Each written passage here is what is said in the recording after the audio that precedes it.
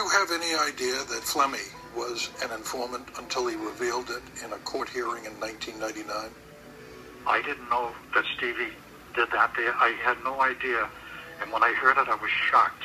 I mean, Stevie was like my brother. I mean, I was so close to him.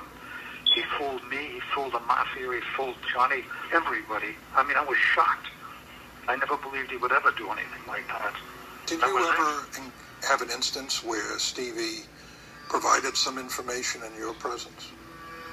One time, John Connolly asked him a question. Stevie answered it. He gave a name. When I heard that, I brought the thing to a close, and then I told Stevie, "Come on, let's go." And I started hollering at him as we went down the stairs. I told him, "What the fuck did you do that for?" I says, "We're paying. We're not saying. We're buying. We're not selling." When Stephen Flemmi came out and said he was an informant and was granted immunity, the government wanted to shut him up.